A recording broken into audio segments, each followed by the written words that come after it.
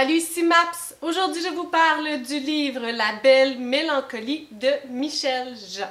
Donc, c'est un peu mon objectif de l'année 2020 de lire tous les ouvrages de Michel Jean que je n'ai pas encore lus, et donc La belle mélancolie en faisait partie. Dans ce livre-là, nous allons suivre majoritairement Arnaud, qui travaille euh, en relation presse pour euh, la compagnie Imagine Communication.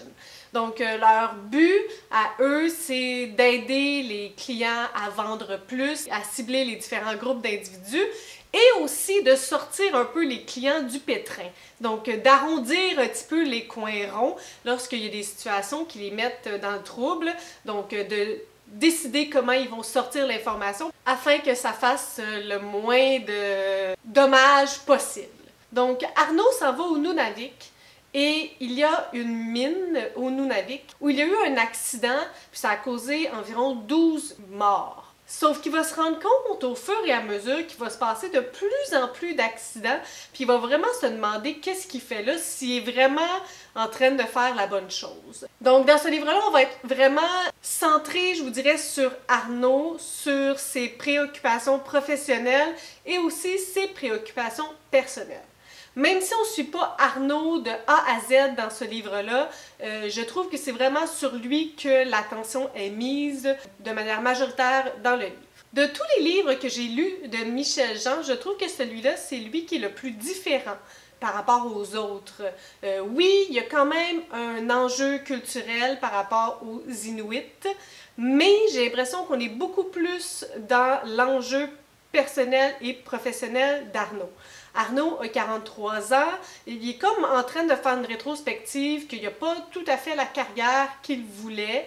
Euh, il y a eu des raisons pour ça, forcément, mais euh, puis tu sais, lorsque la vie te met des barrières devant toi, ben tu, tu contournes sans nécessairement te poser des questions au moment même. C'est un peu là qu'il est rendu. Il est rendu à 43 ans, il a une carrière et tout et tout. Puis il se dit oui, mais est-ce que je suis sur mon X? Peut-être pas. Il y a aussi euh, une petite euh, frivolité avec euh, une femme, lui qui est célibataire depuis des années.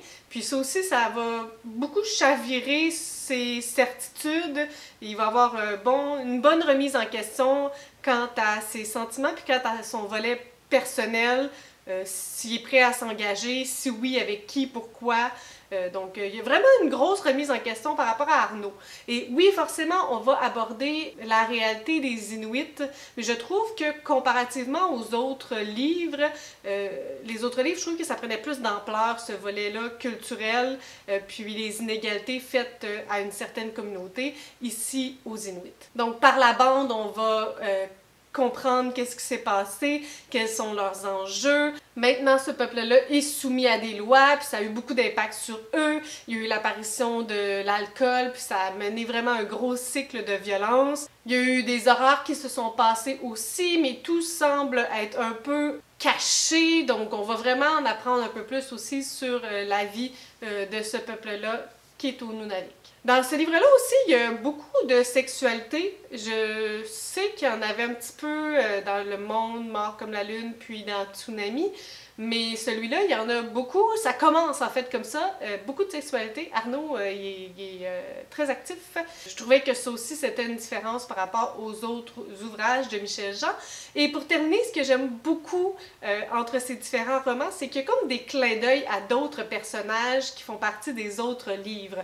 Donc, il n'y a pas nécessairement un besoin d'avoir lu un livre avant les autres, mais Jean-Nicolas, qui fait partie du livre un monde mort comme la lune va venir faire son petit clin d'œil.